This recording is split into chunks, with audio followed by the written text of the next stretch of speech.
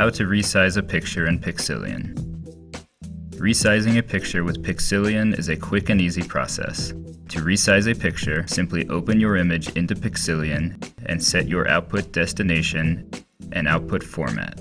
Click on the Resize button to launch the effects window and choose how you would like to scale your image.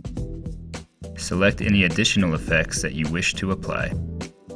When you are finished, click OK. Select the image or images that you would like to apply your settings to, and then click the Convert button. Your resized images will now appear in your chosen output location. Continue watching this tutorial for a more detailed explanation.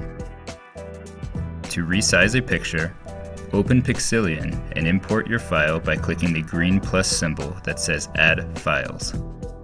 Select the image file or files you would like to resize and click Open.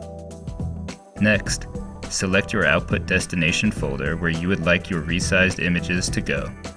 If you wish to change file types, you can do so from the Output Format drop-down menu. Click the Resize button in the top menu to launch the Effects window. You can choose to scale your image by percentage, by long side, by its original aspect ratio, by a predefined frame size, or by a custom frame size.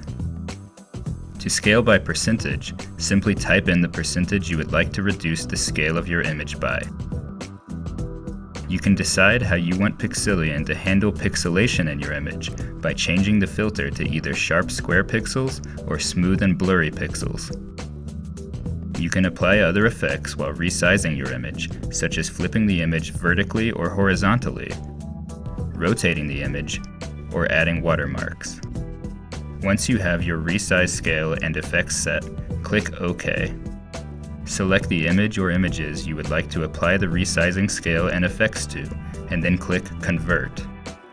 The conversion will be performed and your newly resized image will now be available in your chosen destination folder.